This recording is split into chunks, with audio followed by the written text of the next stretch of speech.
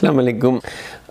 मैंने, मेरी ऑब्ज़रवेशन है, कोई स्टडी नहीं मैंने इस पर की, मैंने ये नोट किया है कि पाकिस्तान में तकरीबन नाइन आउट ऑफ़ टेन या नाइन्टी परसेंट लोग जो है ना ब्लड प्रेशर की मेडिसिन वो उस तरह नहीं ले रहे जो इंटरनेशनल स्टैंडर्ड या गाइडलाइंस के मुताबिक है। उसकी बड़ी वजह हैं। उसमें नंबर वन वजह जो मैंने नोट की है चलें, वजूहत तो छोड़ें, उसकी क्या क्या कॉजेज़ हो सकती हैं why people are not taking the right medication many time आपने देखा है कि मेडिकेशन उनको कोई और चाहिए होती है और वो ले कुछ और रहे होते हैं। ब्लड प्रेशर की दवाइयों के बारे में ये जान लें कि ब्लड प्रेशर की कोई भी दवाई है, अगर आप वो ब्लड प्रेशर कंट्रोल करती है तो वो इससे बहुत बेहतर है कि आप कोई दवाई भी ना लें। लेकिन आगे ये भी तो हो सकता है कि ब्लड प्रेशर की जो दवाई आप ले रहे हैं, वो ब्लड प्रेशर भी कंट्रोल करे और उसका साथ कोई और फ़ायदा भी हो।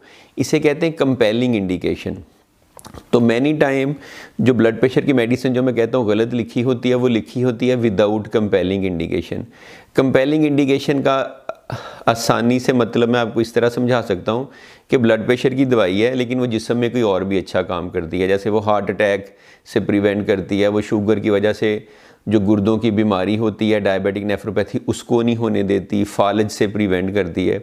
तो आप ऐसी मेडिसिन ही लेना चाहेंगे कि आपने पैसे भी खर्चे, जो बीपी भी कम करे और साथ कोई ना कोई और अच्छा काम भी करे। तो इसी तरह से रिसर्च की बेसिस पे मेडिसिन को कैटेगराइज किया गया कि ये मेडिसिन इस कंडीशन में यूज़ करनी चाहिए, इस कंडीशन में, इस कंडीशन में। तो मेजॉरिटी ऑफ़ पेशेंट्स जो मैं देखता हूँ, उनमें मेडिकेशन दी होती है विदाउट कंपेलिंग इंडिकेशन ये कंपेलिंग इंडिकेशन इसी तरह कि आपका सपोज़ करो, आपने कोई ग्रॉसरी ख़रीदनी है और वो जो स्टोर है वो आपके ऑफ़िस के साथ है और वो बीस किलोमीटर दूर है आपके घर से। तो जब आप ऑफ़िस जाएँगे तो वापसी भी वहाँ से चीज़ें भी ले लेंगे, आपका पेट्रोल बचेगा। ये तो नहीं हो सकता आप घर वापस आएँ और फिर स्टोर पर जाएँ बीस किलोमीटर दूर। तो आप उसी पेट्रोल में वहीं से चीज़ खरीद के आ सकते हैं। तो आपने दवाई के पैसे दिए हैं ब्लड प्रेशर की तो दवाई आपका बीपी कम कर रही है, लेकिन साथ अगर वो आपको हार्ट अटैक से बचा रही है, गुर्दे फेल होने से बचा रही है, फाले से बचा रही है तो इससे अच्छी क्या चीज़ हो सकती है? तो 90 परसेंट लोग ले रहे मेडिसिन विदाउट कंपेलिंग इंडिकेशन के। जैसे फॉर एग्ज़ाम्पल आपको शुगर है और उसकी वजह से थोड़ी सी प्रोटीन आ रही है और ले आप बीटा ब्लॉक करें, जो कि टोटली रॉन्ग है। आधी पॉपुलेशन हमारी टेनोलॉल और टेनॉर्मन में है, जो कि फोर्थ लाइन ड्रग है। हाँ इसी तरह से दूसरे नंबर पे अगर सपोज़ करो कोई कंपेलिंग इंडिकेशन ना हो तो आप फ़र्स्ट लाइन ड्रग पहले लेते हैं। जैसे कैल्शियम चैनल ब्लॉक कर रहे हैं रेनन एंजियोटेंसिन सिस्टम ब्लॉक कर रहे हैं डायूरेटिक्स हैं। ना कि बीटा ब्लॉकर और अल्फ़ा ब्लॉकर जो कि फोर्थ और फिफ्थ लाइन ड्रग्स हैं।